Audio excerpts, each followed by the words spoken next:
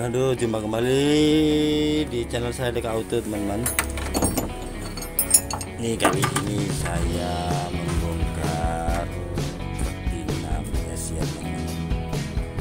Aduh, ternyata untuk mengambil sebuah radiator ini harus kita lepas dulu Jok yang untuk kemudi si sopir joknya si sopir kita harus lepas dulu teman. kita lepas setelah itu baru bisa kita buka dan radiatornya ya kalau kita mengerjakan membuka radiator ini dengan sendiri sendirian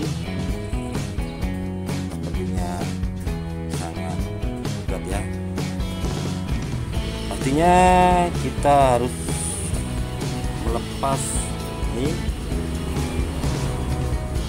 pelindung kipasnya ini bautnya ada tiga sampai di bawah Ya. jadi kita harus ke atas ke bawah bukan sendirian ini kendalanya radiatornya eh, katanya bocor ya. tapi jadun bocor pastinya kita bongkar ya dan kita cucuk sekali ya. Aduh. Ya nasibnya guys. Kita bongkar sendiri bikin video sendiri kita edit sendiri yang terpenting kita terus tetap berkarya aja teman-teman ya. Walaupun kita tidak punya tim seperti youtuber-youtuber yang lainnya kita tetap semangat berkarya membuat konten yang beredukasi untuk uh, generasi-generasi yang akan datang ya. Anak cucu kita ya kita tahu mempelajari tentang otomotif nah ini yang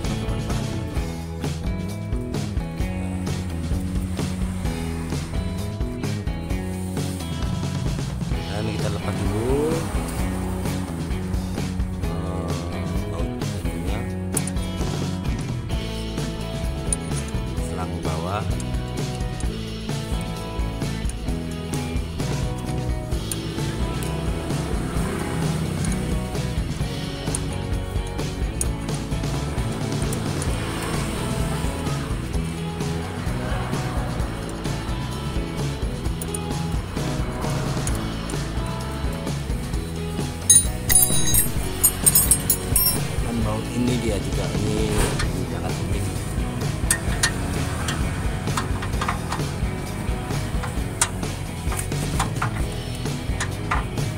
kunci 12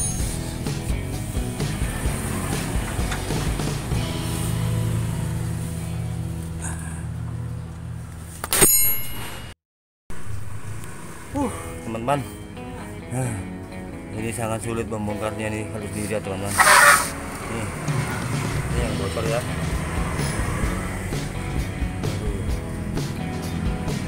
Ini bukan perkara bongkar radiatornya yang sulit atau nebelnya yang bocor ini yang sulit teman-teman.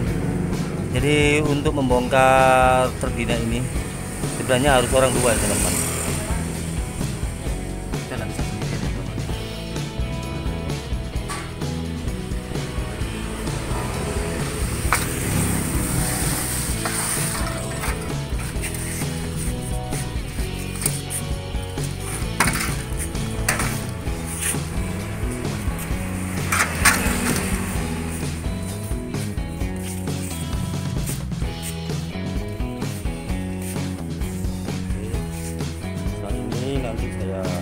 Servis kita cuci sekalian